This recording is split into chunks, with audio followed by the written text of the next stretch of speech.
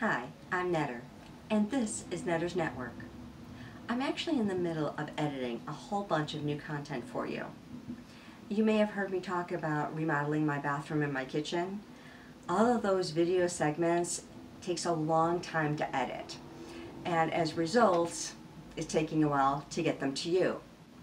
In the meantime, I have some fun, cute, interesting little video snippets for you to watch. None of them are very long. I think the longest one is maybe three or four minutes. And they're all really fun to watch. So I hope you all enjoy them while you're waiting for my content to come out. What's that?